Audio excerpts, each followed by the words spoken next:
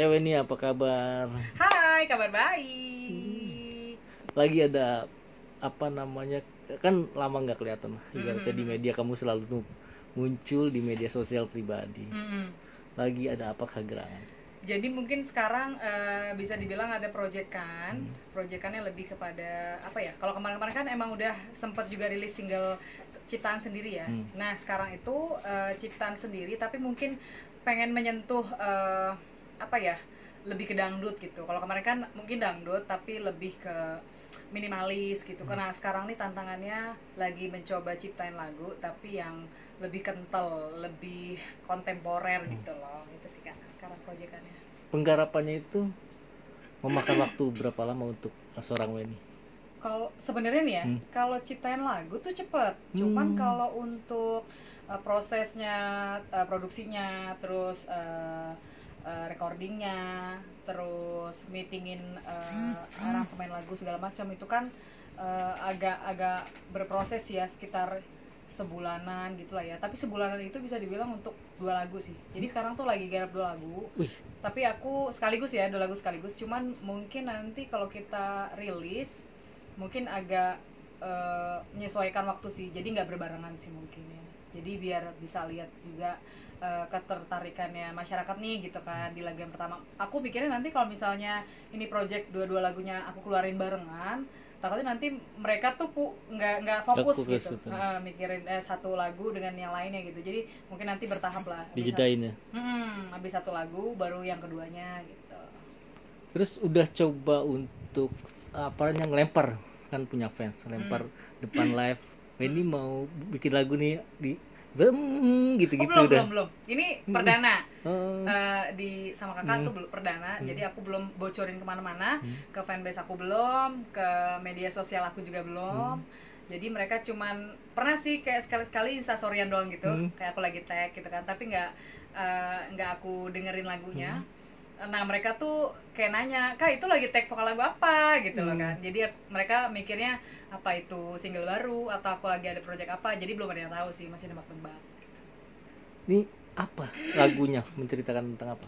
Kalau untuk lagu yang pertama itu sih mungkin kayak eh, apa ya keinginan dari seorang eh, insan. Hmm. dia bisa cewek bisa cowok. Kayak dia tuh pengen loh. Jadi kan kita kita mungkin kayak gini ya kayak kadang ada seseorang tuh yang ngerasain kok orang lain tuh si A sama si B kok bisa bahagia sih gitu Hmm. kok gue nggak bisa sih nemuin pacar tuh yang setia Hmm. eh, pacarnya mungkin nggak ada berantem berantem nggak ada perselingkuhan terus nikah Hmm. punya anak bahagia gitu kan kadang kan ada pasangan yang eh, apa ya kelihatannya Hmm. tuh harmonis gitu ya Hmm. tapi ada juga kan yang kita nggak tahu Hmm. mungkin gitu kalau ada seseorang tuh yang ngalamin percintaannya tuh nggak seindah itu Itu. gitu loh tapi mungkin tidak apa ya tidak ter tidak terdeskripsikan di sebuah lagu gitu kan. Nah jadi aku mencoba ngeluarin lagu yang menceritakan kisah eh, kepiluan mereka itu di lagu ini gitu. Kalau untuk lagu yang kedua tuh lebih ke apa ya? Kayak pengkhianatan eh, Hmm. seorang eh, apa ya?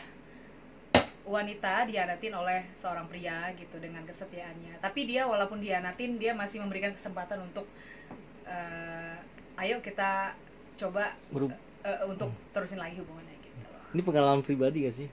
sebenarnya sih kalau pengalaman pribadi sih Hmm. eh, enggak ya karena tipe aku tuh kak sebenarnya Hmm. kalau udah dianatin ya udah bubar gitu Hmm. kalau aku ya Hmm. tapi eh, aku mencoba di lagu ini tuh eh, dari kisah-kisahnya sekeliling aku aja sih teman-teman aku Hmm. jadi ada dia tuh yang kayak udah dia cinta mati banget nih sama cowoknya gitu Hmm. walaupun cowoknya selingkuh Hmm. tapi dia tetap ngasih kesempatan buat balikan lagi gitu jadi aku terinspirasi aku bikin lagu gitu.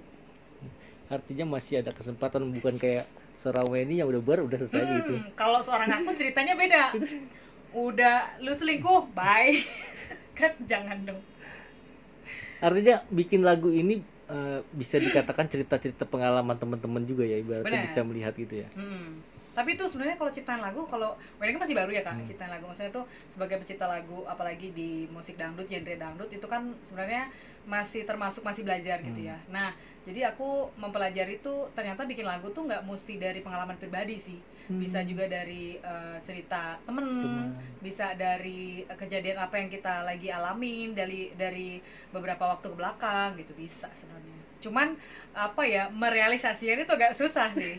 pakai mood itu Oh, pakai mood ya. Mm-mm, karena kalau misalnya lagi nggak mood walaupun kita misal dari tim nih ya Hmm. dari tim dari Soundrich nih bilang "Eh, ayo dong bikin lagu ini dong tentang ini dong gitu tapi kalau kita nggak dapet feelnya agak susah juga Hmm. jadi mood-moodan masih kalau orang pencipta yang kayak pencipta yang udah punya nama gitu ya itu kan mereka pasti ketika ada orang request Hmm. bikin lagu ini dong langsung gitu kan Hmm. nah kalau kayak kita tuh kalau aku belum bisa sih sejujurnya makanya Hmm.